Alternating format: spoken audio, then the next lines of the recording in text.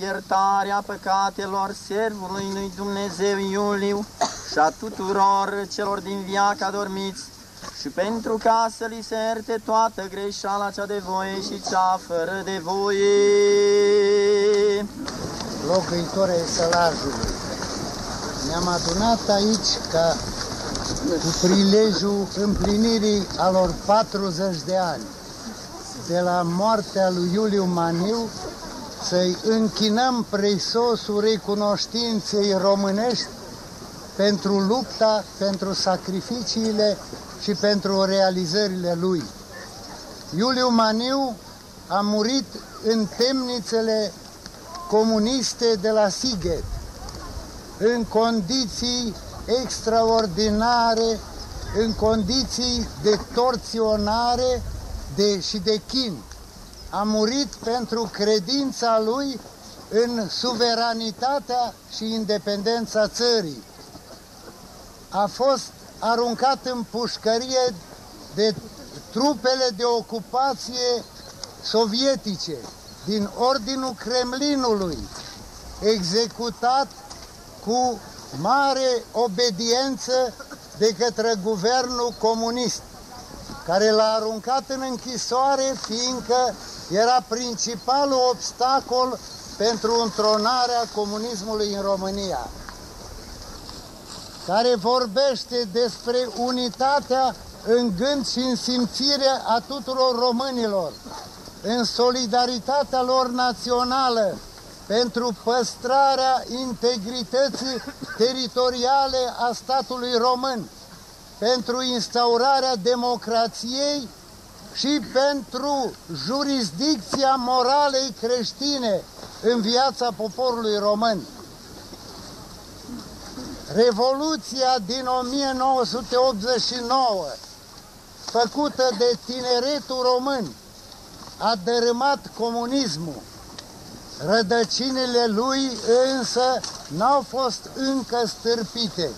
Noi trebuie să luptăm ca democrația adevărată să fie întronată în țara noastră.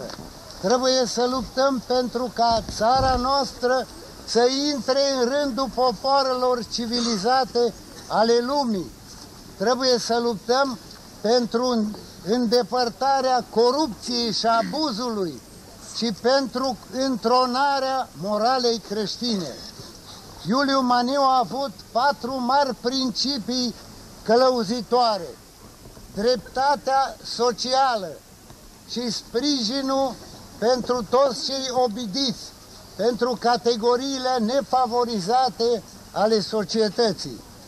Principiul moralei creștine care trebuie să fie prezent în toate activitățile noastre. Principiul patriotismului luminat, din care rezultă obligația noastră de a sta de veche la integritatea noastră teritorială și acum obligația noastră de a face tot ce ne stă în putință ca frații noștri de peste Prut, care încă sunt integrați într-o țară străină, să revină la patria mamă. În afară de principiul patriotismului luminat, Iuliu Maniu este propovăduitorul egalității absolute între toți cetățenii. El n-a militat pentru dușmănie între cetățeni de altă limbă și de altă religie. Principiul suveran care trebuie să ne călăuzească este să oferim o patrie comună pentru toți cetățenii născuți pe aceste plaiuri, pentru ca împreună să depună eforturi pentru a scoate țara din impas.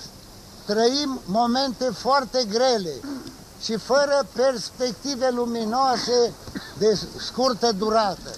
Dar românii au trecut de atâtea ori prin împrejurări grele și au supraviețuit.